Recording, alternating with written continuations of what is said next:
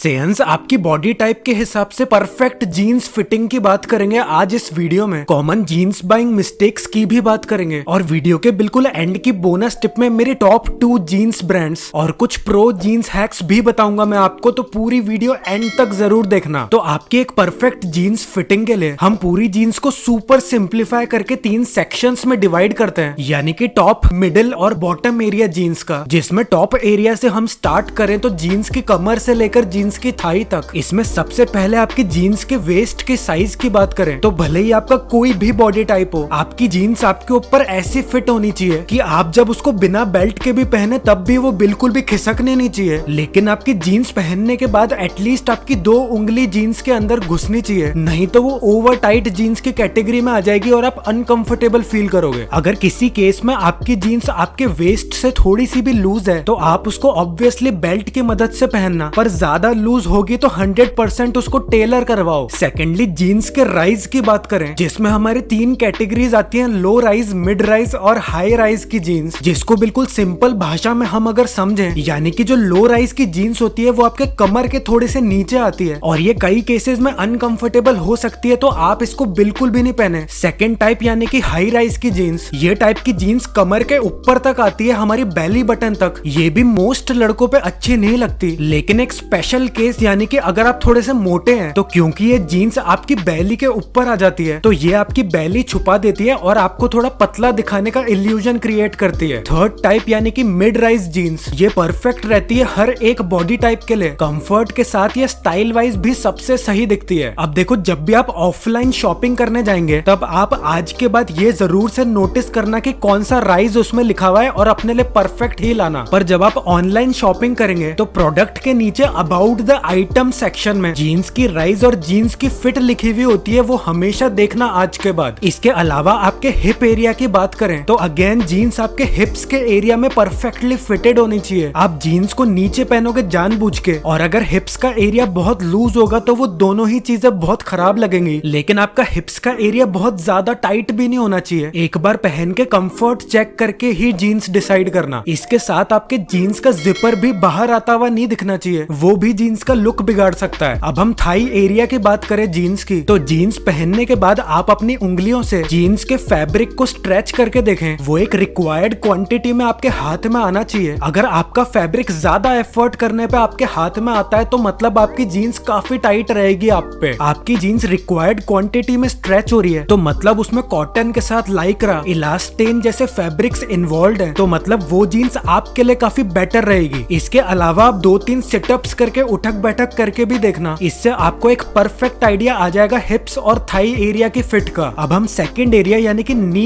Area की बात करते हैं। तो ये एरिया भी जब आप सेटअप्स करेंगे जीन्स ट्राई करते समय, तब आपको इजीली इसके फिट का पता लग जाएगा। बट इम्पोर्टेंट चीज़ ये है की आपकी जीन्स आपके नीज के नीचे से टेपर्ड होते हुए आनी चाहिए आपके बॉटम तक। जहाँ तक जीन्स की बॉटम एरिया की बात करी जाए तो यहाँ पे सबसे ज़्यादा लड़के गलती करते हैं। सबसे पहले तो अगर आप अपनी जीन्स बहुत ज़्यादा ऊपर तक पहनते हैं तो ये गलती न करें। इससे आप छपरी की कैटेगरी में लैंड कर सकते हैं। और अगर आपकी जीन्स बहुत ज़्यादा लंबी या आपके जूतों को छुपाती है, या फिर बहुत ज़्यादा इकट्ठी होती है नीचे तो वो भी बिल्कुल ना करना। बेस्ट कंडीशन ये रहेगी कि आपकी जीन्स आपके एंकल के एरिया के अराउंड खत्म होनी चाहिए, या फिर ज़्यादा से ज़्यादा उसमें हल्के से एक या फिर दो ब्रेक या सिलवट हो सकते हैं। अगर आपको थोड़ा बहुत एक्स्ट्रा फैशनेबल लगना है तो एंकल से थोड़ा सा ऊपर होना चाहिए आपकी जीन्स। या फिर आप जीन्स को फोल्ड कर सकते हैं, लेकिन दो फोल्ड से ज़्यादा बिल्कुल मत करना। अगर दो फोल्ड से ज़्यादा फोल्ड करने की ज़रूरत पड़ रही है मतलब जीन्स को ऑल्टर करवाने की ज़रूरत है। सिमिलरली बूट कट जीन्स अगर आपको पसंद है तो उसकी भी लेंथ परफेक्ट होनी चाहिए, नहीं तो वो भी खराब लगेगी। जहाँ तक जीन्स के फिट के टाइप की बात आए तो वैसे तो मैं आप सबको स्लिम फिट ही रिकमेंड करूँगा, लेकिन आप रेगुलर फिट या एक रीजनेबली स्किनी फिट जीन्स भी प्रेफर कर सकते हैं। और हाँ एक और मेजरली इम्पोर्टेंट बात कि क्योंकि हम सबकी बॉडी टाइप यूनिक है, हम सबकी हाइट्स अलग अलग होती हैं। लेकिन जो जीन्स की कंपनीज़ होती हैं, वो एक स्टैंडर्ड साइज़ के हिसाब से ही जीन्स की फिट बनाती हैं। तो आप भले ही कोई भी जीन्स लोगे, आज के बाद भले ही ऑफलाइन या ऑनलाइन उसे आप अपने बॉडी और अपनी हाइट के हिसाब से परफेक्ट लेंथ में टेलर करवाना। बिना टेलर करवाए आपको परफेक्ट फिट वाली जीन्स बिल्कुल भी नहीं मिल सकती। मैं खुद भी कोई भी जीन्स खरीदता हूँ तो उसको सबसे पहले टेलर करवाता हूँ बाहर पहनने से पहले। और हाँ इस चीज़ में आलस मत करना, ये छोटी सी चीज़ आपकी पूरी जीन्स का लुक बिगाड़ देगी। फाइनली वीडियो के बोनस बोनस टिप की मेरी प्रो जीन्स हैक्स में। आप जब भी जीन्स खरीदे तो जीन्स खरीदने से पहले अबाउट द आइटम में चेक करें कि वो जीन्स हैंड वॉश है या मशीन वॉश और उस हिसाब से ही उसकी केयर करें ताकि आपकी जीन्स लंबी चले। सेकेंडली आपकी जीन्स का फ़र्स्ट कलर नेवी या ब्लैक होना चाहिए और आप चाहें तो उसमें हल्के फुल्के नी रिप्स या फिर बिल्कुल लाइट डिस्ट्रेसिंग ही प्रेफर करना। Thirdly drop crotch jeans over patched jeans या फिर कोई भी ऐसी फ्लैशी टाइप जीन्स आप जितना हो सके अवॉइड करना। नंबर फोर्थ अगर आपका थाई रीजन काफ़ी पतला है तो आप थोड़ी डार्क कलर की जीन्स लेना, जो थाई एरिया से थोड़ी बहुत वॉश्ड आउट होगी, जिससे कि वो इल्यूजन देगी कि आपकी थाईज थोड़ी सी ब्रॉडर हैं। ये सिमिलर हैक आप हिप्स नीज या फिर काफ्स के लिए भी अपना सकते हैं। और लास्टली मेरी दो फेवरेट बजट ब्रांड्स आपकी स्क्रीन पे हैं, आप इनका स्क्रीनशॉट ले लो। पर्सनल हाइजीन और underwear according to your body type की वीडियो देखनी है तो लेफ़्ट बॉक्स पे क्लिक करना। और टीनेजर वर्स्ट ग्रूमिंग मिस्टेक्स देखने के लिए राइट बॉक्स पे क्लिक कर सकते हैं।